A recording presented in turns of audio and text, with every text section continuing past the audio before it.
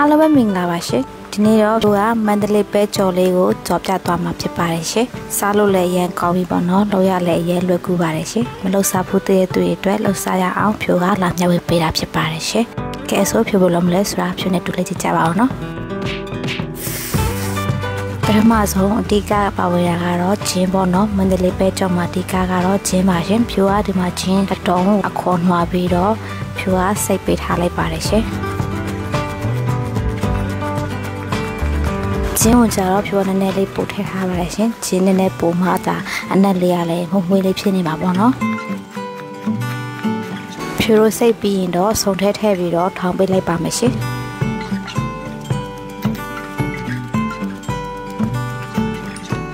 ညက်သွားပြီဆိုရင်တော့ဖြိုရိုပဲကြော်ကိုစားလုပ်ပါမယ်နော်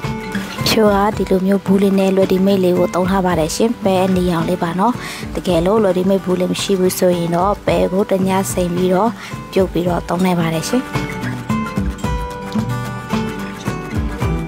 ပြီးတော့ဖြိုတို့ပဲကိုရေစစ်ချပြီးတော့ရေစစ်ပေးထားပါမယ်ရှင်ရေစစ်ပြီးရင်တော့ဖြိုတို့စုံထဲထည့်ပြီးတော့ထောင်းပေးလိုက်ပါမယ်ရှင်တကယ်လို့ဒီနေရာမှာကြိတ်ဆက်ရှိတဲ့သူတွေဆိုရင်ကြိတ်ယူလည်းရပါတယ်နော်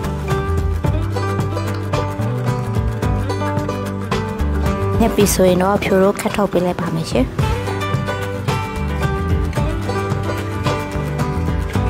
ပြီးတော့ဒီမှာဖြိုးကကောက်ညင်မုံဟစ်ခက်စွန်သုံးစိုးစာသုံးထားပါတယ်ရှင်ပြီးတော့ဆန်မှုတ်ကြတော့ဟစ်ခက်စွန်ဆိုတစ်ပတ်စာသုံးထားပါတယ်ရှင်အရတာအတွက်ကအသားမှုန့်နဲ့ငယ်ထည့်ထားပါတယ်ရှင်ပြီးတော့စားလက်ဖက်ဆိုတစ်ပတ်စာလုံးနဲ့ပီကီဆိုတာမှုန့်နဲ့ငယ်လည်းဖြိုးထည့်ထားပါတယ်ရှင်ပြီးရင်တော့ခဏကထောင်းလာတဲ့ဂျင်းရဲ့တစ်ဝက်ကိုပေါ့နော်ဖြိုးထည့်ထားပါတယ်ရှင်နောက်တစ်ဝက်ကကျတော့ဖြိုးအချင်းထဲမှာလုပ်ဖို့တက်ပေါ့နော်ချက်ထားပါတယ်ပြီးရင်တော့ဖြိုးတို့တမတ်တော့အောင်အရင်နယ်ပေးလိုက်ပါမယ်ရှင်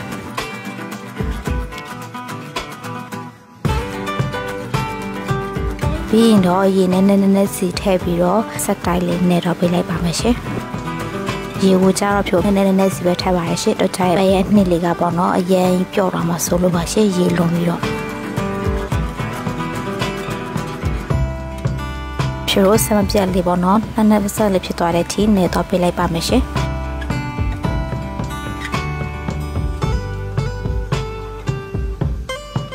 ဖြိုးနေတာလေးနှက်ပြပြီဆိုလို့ရှိရင်တော့အပေါ်ကပလတ်စတစ်လေးနဲ့အောက်ပြီးတော့မိနစ်30 35မိနစ်လောက်ဖြိုးတို့စောင့်ပေးလိုက်ပါမယ်ရှင်ပြီးရင်တော့ခဏကကြံတဲ့ဂျင်းထောင်းထားတာလေးနဲ့ဖြိုးကချက်သွန်ဖြိုးသုံးလေးမှောက်နဲ့ထည့်ပြီးတော့ထောင်းပေးလိုက်ပါတယ်ရှင်ဒါကတော့အချင်းလောက်ဖို့တတ်ပါနော်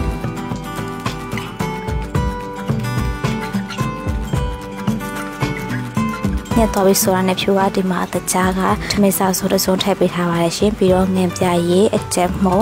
ပြီးတော့ဖြိုထားပြီးသားမကြီးမဲ့ရီလေးပေါ့နော်အဲ့ဒါလေးပါထည့်ပေးလိုက်ပါတယ်ရှင်ပြီးတော့နှက်သွားအောင်မွေးပေးလိုက်ပါမယ်เนาะဒီနေရာမှာကျတော့အရသာကကျတော့ပေါ့နော်ကိုကြိုက်နေတတ်တယ်လို့ရတာကိုဆက်နေပါတယ်ရှင်အချင်းကြိုက်ရင်လည်းချင်းများများပို့ထဲပေါ့နော်အငန်ကြိုက်ရင်လည်းငပြည့်များများပို့ထဲပေါ့နော်ဖြိုကလည်းဒီမှာဖြိုရဲ့စိတ်ကြိုက်ဖြိုဖြိုထားပါတယ်ရှင်အချင်းရင်လေးကို ရတာမြကြည့်ပြီးစင်ပြေရဆိုလို့ရှိရင်တော့ခွက်ထဲကိုဖြူတော့ခတ်ထည့်ပေးလိုက်ပါမယ်ရှင်ပြီးတော့အနက်မွေးစေဖို့အတွက်နည်းနည်းပဲပါးလေးလာလှိပေးလိုက်ပါမယ်ရှင်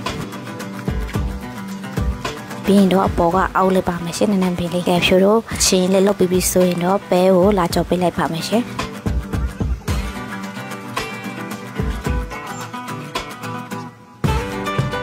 ဒီမှာကကျတော့ဖြူတို့ပဲပြားလေးတွေကြော်တဲ့ချိန်မှာပေါ့နော်ကိုကြိုက်နှစ်သက်သလိုဘုံလေးဖော်ပြီးတော့ကြော်လိုက်ပါတယ်ရှင်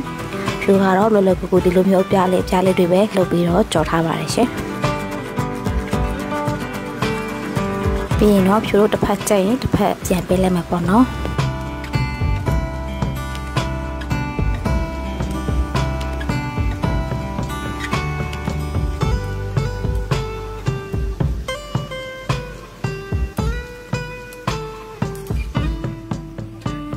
ပဲကြော်ရဲ့ရက်လေးကစားလို့ရနေပေါ့နော်ကဲခုဆိုလို့ရှိရင်တော့ဖြိုးတို့ရဲ့မန္တလေးပဲကြော်ကျွတ်ကျွတ်ရွရဲ့ရဲလေးကစားဖို့အဆင်သင့်ဖြစ်နေပါပြီရှင်အချင်းချစ်ချင်းလေးနဲ့ပေါ့နော်သူ့စားလိုက်ရတာအရင်ရှိတယ်ဖြိုးတို့ရဲ့မန္တလေးပဲကြော်ကစားဖို့အဆင်သင့်ဖြစ်နေပါပြီရှင်ဖြိုးဝီလိုကိုစုံတိကြည့်ပြသူရအားလုံးကျေးဇူးများကြီးတင်ပါတယ်ရှင်ဖြိုးရဲ့နောက်တစ်တူကလည်းအားပေးကြပါအောင်လို့ပြောချင်ပါတယ်ရှင်အခုဖြိုးလောက်တဲ့ဗီဒီယိုလည်းအားလုံးအတွက်စင်ပြမယ်လို့မျှော်လင့်ပါတယ်ရှင် ကဲဆိုဖြိုးနောက်ဝတ်တက်မှာပြန်ဆောင်ကြမယ်နော်အားလုံးဘိုင်ဘိုင်